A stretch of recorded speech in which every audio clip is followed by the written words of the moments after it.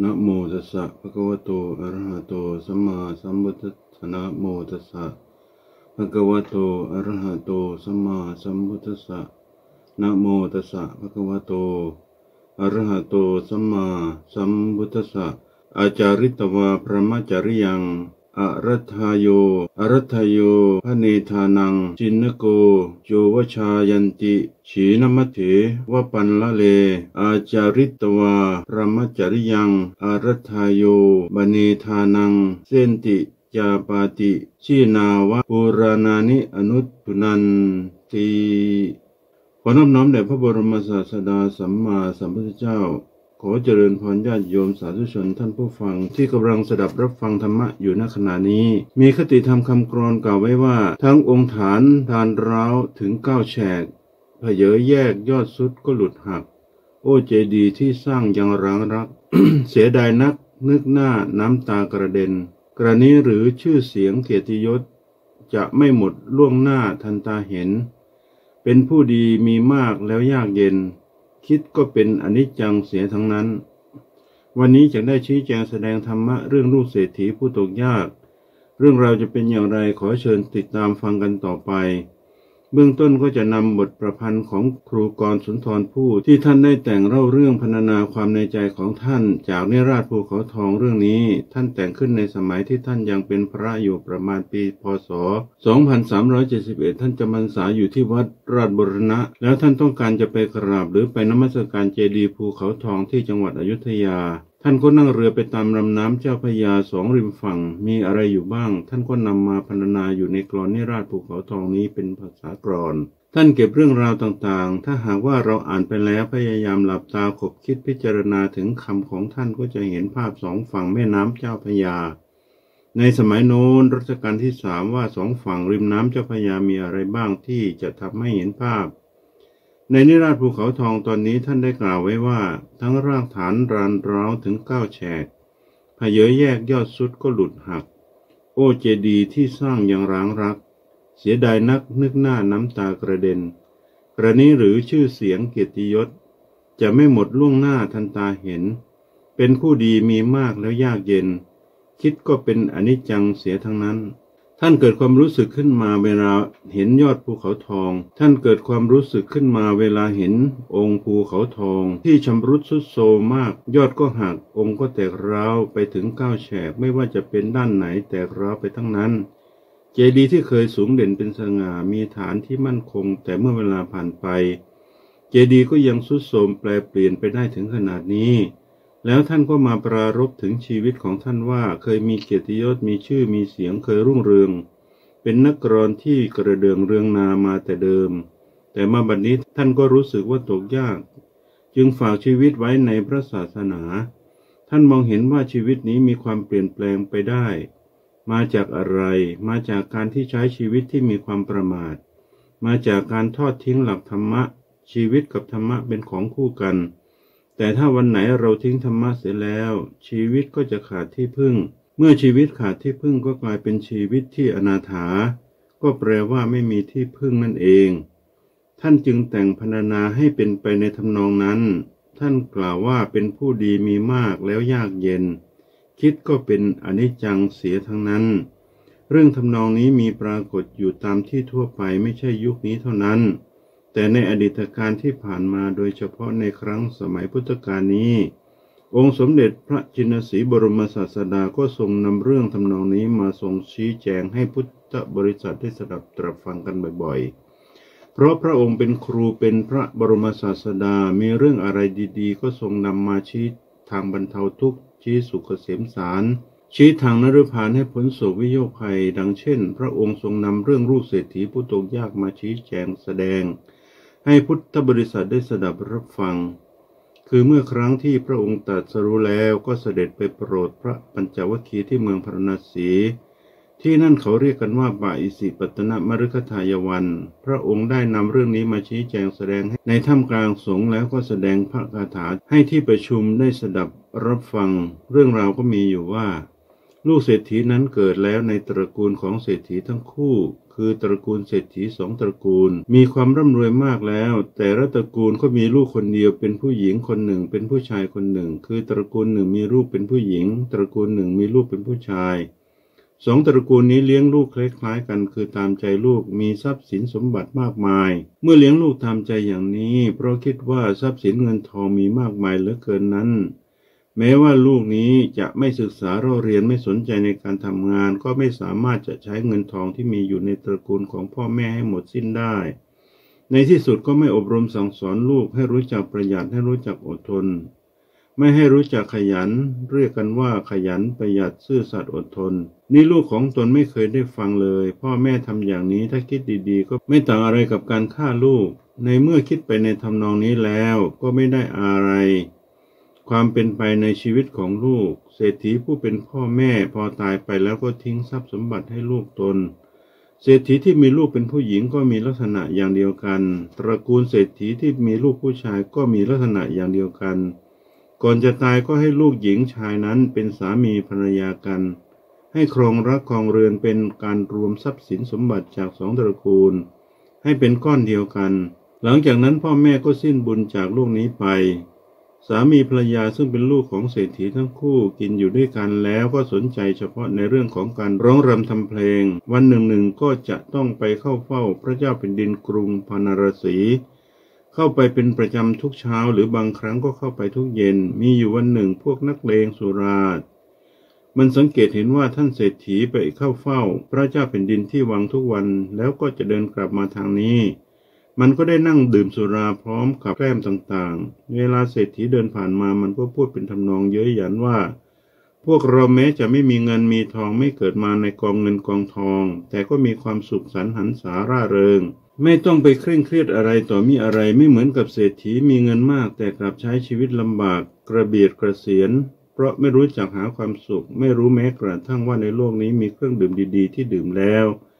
จะทำให้เกิดความสุขกายคลายเครียด มันพูดชักจูงไปในทำนองนั้น พวกนักเดงสุรานี่มันก็มีปัญญาในการจะเชิญลูกเศรษฐี ซึ่งปัจจุบันเป็นเศรษฐีแล้วเข้าไปร่วมสมาคมกับนักดื่มของมัน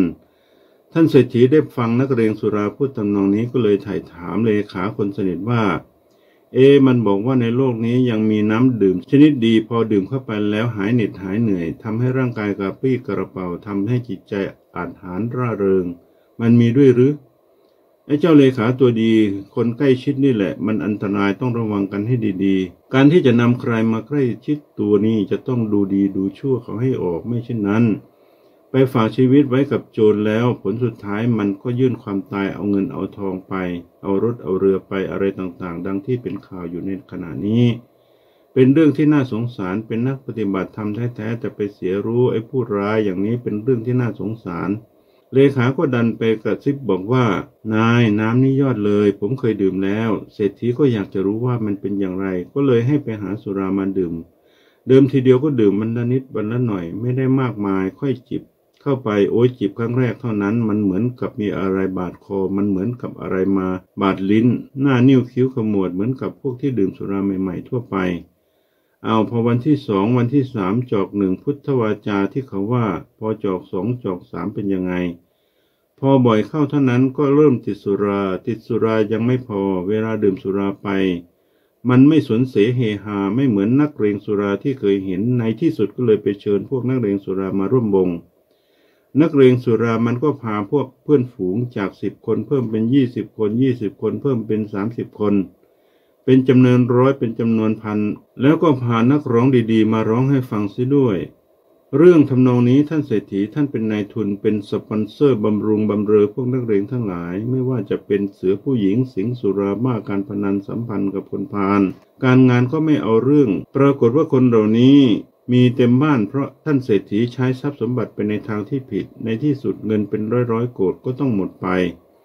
เพราะการใช้จ่ายในทางที่ไม่ถูก เป็นเรื่องที่ไร้สาระไม่มีประโยชน์ แต่กลับมีโทษมากมายมหาศาลพอเงินทองหมดแล้วก็ต้องขาย ไร่ขายนาบ้านช่องห้องหอสมบัติต่างๆ ที่มีอยู่นั้นก็ขายไปหมด ขายหมดแล้วก็ต้องไปอาศัยบ้านคนอื่นเขาอยู่ต่อมาคนอื่นนั้น เขาก็รังเกียจเขาไม่มีเมตตาปราณี กับคนที่ไม่รู้จักคิด ไม่รู้จักวางแผนชีวิต คนเหล่านี้เป็นเสนียดเขาไม่ต้องการจะให้อยู่กับเขา เขาก็ขับไล่สายส่งทั้งสามีภรรยา แล้วก็เลยไปอาศัยอยู่ที่วัดในป่าอิสิปตนมฤคทายวันเช้าวันหนึ่งองค์สมเด็จพระจอมทันบรมศาสดาจาริกบินทบาทมีพระอนุนและสมณะ พระรูปอื่นๆ ได้จาริกบินทบาทเป็นแถวเพื่อโปรดชาวเมืองพันนารสี เสด็จออกมาจากหน้าวัดเท่านั้นก็เห็นท่านเศรษฐีและภรรยาแต่งตัวปอนมาก พระพุทธองค์ทรงแสดงอาการแย้มให้ปรากฏ พระอานนท์ได้สังเกต เรียกว่าเอ ที่พระพุทธเจ้าทรงแสดงอาการแย้มอย่างนี้ หมายความว่าอย่างไรจึงได้ทูลถามถึงเหตุที่ทรงแย้มพระโอษฐ์กับพระองค์ พระศาสดาเมื่อจะตรัสบอกเหตุที่ทรงแย้มจึงได้ตรัสปารบกับพระอนนท์ขึ้นว่า ดูก่อนท่านอนนท์เธอจงดูลูกเศรษฐีผู้มีทรัพย์มากผู้นี้ผลาญทรัพย์เสียหมดพาภรรยาเที่ยวขอทานอยู่ในนครนี้ ก็ถ้าเกิดว่าลูกเศรษฐีผู้นี้ไม่ผลาญทรัพย์สินให้หมดสิ้นแล้ว ทำกิจการงานในปฐมวัยคือภายใน 25 ปีที่ผ่านมาเขาจะได้เป็นเศรษฐีชั้นเลิศ ในเมืองนี้ทีเดียว แต่ถ้าเกิดว่าเศรษฐีนี้ออกบวชก็จะบรรลุอรหัตเป็นพระอรหันต์แม้ภรรยาของเขาก็จะดำรงอยู่ในอนาคามีผล ถ้าไม่ผ่านทรัพย์สินสมบัติให้หมดไป แล้วได้ทำการให้เป็นหลักเป็นแหล่งให้เป็นเรื่องเป็นราวในปัจฉิมวัยจากได้เป็นเศรษฐีชั้นที่สอง ออกบวชจากเป็นพระอนาคามี แม้ภรรยาของเขาก็จำรงอยู่ในสกทาคามีผล ถ้าไม่ผลานทรัพย์สินสมบัติให้สิ้นไป ประกอบการงานในปัจฉิมวัยจากได้เป็นเศรษฐีชั้นที่สามหรือถ้าออกบวชก็จะเป็นพระสกทาคามี แม้ภรรยาของเขาก็จะดำรงอยู่ในโสดาปฏิผล แต่เดี๋ยวนี้ลูกเศรษฐีนั้นทั้งเสื่อมแล้วจากโภคทรัพย์ และคฤหัสถ์ เสื่อมแล้วจากอริยทรัพย์คันเสื่อมแล้วจึงเป็นเหมือนนกกระเรียนในเปลือกตมที่แห้งดังนี้แล้ว องค์สมเด็จพระปฏิบแก้วบรมศาสดาสัมมาสัมพุทธเจ้า จึงได้แสดงพระธรรมเทศนาเป็นภาษามคตว่า อาจาริตวาพระมจริยัง อารัธาโยพระเนธานัง ชินนโกโจวชายันติ ถีนมเฉวะปัลเล อาจาริตวา พระมจริยัง อารัธาโยพระเนธานัง เส้นติจาปาติฉีนาวะภูรนานิอนุทุนัง แปลว่าคนพานทั้งหลายไม่ประพฤติพรหมจรรย์ไม่ได้ทรัพย์ในการที่ตนยังเป็นหนุ่มสาว ต้องมีชีวิตซบเซาดังนกกระเรียนแก่ที่ซบเซาอยู่แต่เปลือกตม อันมีปลาไม่มีให้กินฉะนั้น คนพานทั้งหลายไม่ประพฤติพรหมจรรย์ไม่ได้ทรัพย์ในการที่ตนยังเป็นหนุ่มสาว